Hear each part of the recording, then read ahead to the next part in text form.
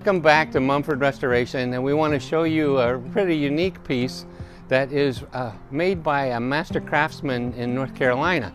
So, but before I tell you about that, please visit our website and see what you can restore, mumfordrestoration.com. So you see that I'm holding a book here by uh, that was made about Thomas Day, a master craftsman here in North Carolina, and this is an example of one of his pieces from about 1835 to 1845.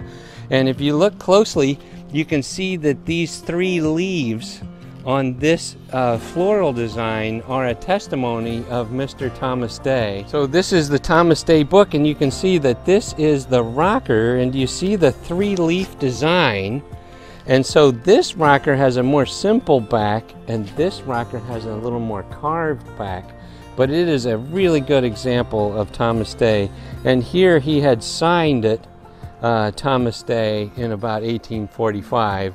So the customer has chosen just a beautifully classic velvet and we are so proud uh, that this piece has not been changed too much but brought back to its original period correct condition.